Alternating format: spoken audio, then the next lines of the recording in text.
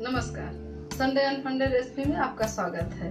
जब भी किसी के घर खुशियाँ आती हैं तो हम पेड़े खाने खिलाने की बात करते हैं। खुशियाँ छोटी हो या बड़ी, कोई भी बच्चा घर में पास होता है तो हमें पेड़े चाहिए। किसी भी फ्रेंड की सगाई होती है तो हमें पेड़े चाहिए। तो क्यों ना आज हम पेड़ा बनाते हैं? पेड़ा बनाना बहुत ही आसान है। तो चलिए, हम इसे स्टार्ट करते हैं। पेड़ा बनाने के लिए 250 ग्राम हमने मावा लिया। ये मावा हमने घर पे ही बनाया है। मावा रेसिपी का लिंक हमने इस वीडियो के अंतिम में दिया हुआ है, वहाँ से आप फॉलो कर सकते हैं। 200 ग्राम भूरा लिया है हमने।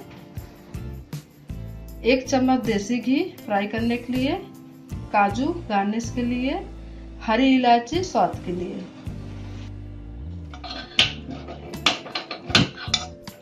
गैस हमने ऑन कर लिया है।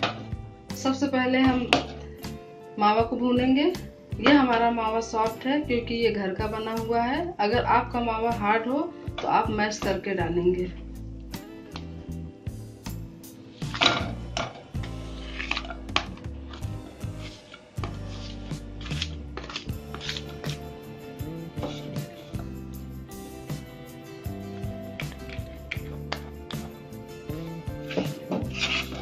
घी डालने से ये थोड़ा सॉफ्ट हो जाता है। और इसे आप धीमी ही आँच पे भून देंगे।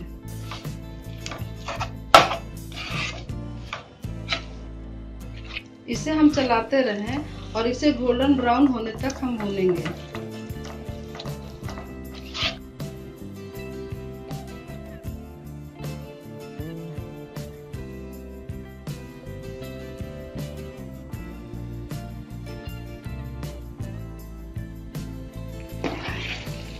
मावा हमने तीन मिनट तक भून लिया है। अब ये गोल्डन ब्राउन हो गया है। अब हम गैस बंद कर देते हैं।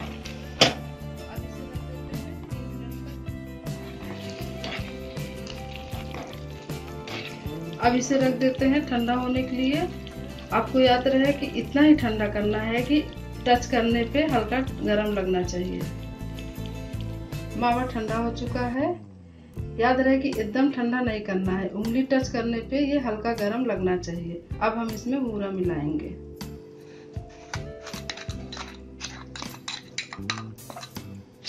और अच्छी तरह से इसको मिक्स करेंगे।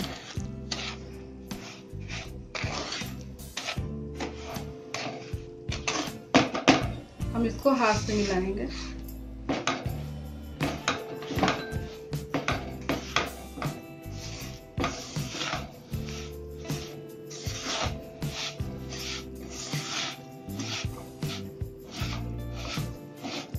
इसमें इलायची डालेंगे।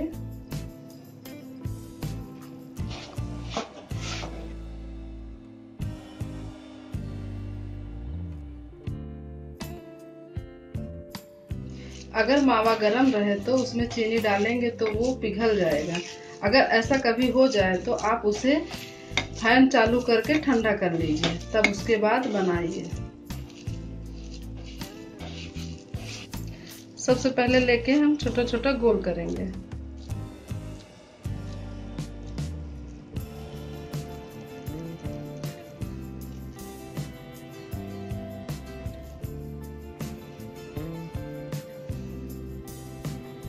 फिर काजू रख के ऐसे प्रेस करेंगे।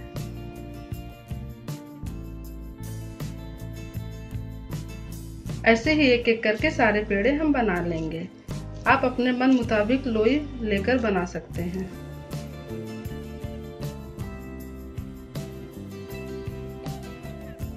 मुझे आशा है कि ये वीडियो आपको ज़रूर पसंद आया होगा।